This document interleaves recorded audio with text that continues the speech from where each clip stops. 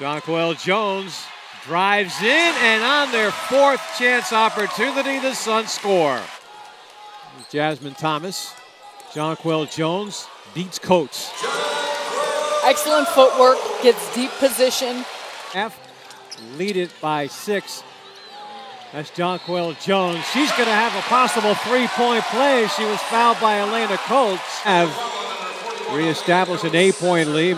May get that nine-point lead back as you get another look at Jonquel Jones. Gel and play best together and what's best for the team. Um, but Holly, speaking of roles, as Jonquel's over here listening to you, makes another one. Well, there's no sleeper teams. Anybody can win this thing. I have a very bold prediction. I have no idea who's going to win the WNBA championship. You had me on the edge of my seat, Yeah. Holly. Get a seven-point game.